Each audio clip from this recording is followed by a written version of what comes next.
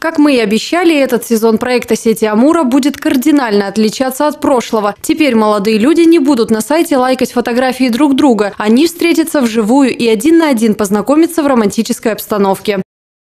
В этом году мы решили перенести виртуальный выбор симпатии в реальный мир.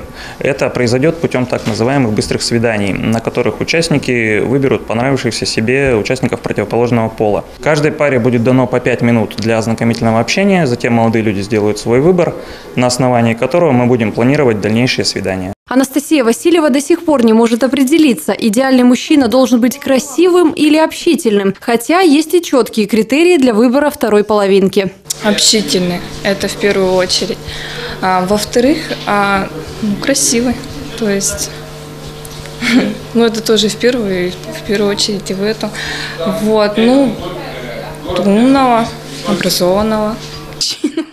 Это Изабелла Самодалашвили. Для нее совершенно не важно, будет ли красавец рядом с ней в финале или же обычный парень. Видимо, девушка сильно хочет выиграть романтическое путешествие. Я хочу встретить мужчину, неважно какой он будет внешности, главное, чтобы у него в сердце нашлось место для меня. Софья Первухина обаятельная и очень застенчивая девушка и даже не претендует на рубаху парня. Может, оно и к лучшему, каждому свое. Я и активная, и скромная. Как-то вот две во мне эти черты – активная. Я вот в колледже всегда выступаю, на конкурсах всегда выступаю везде, вот так вот всякие места зарабатываю.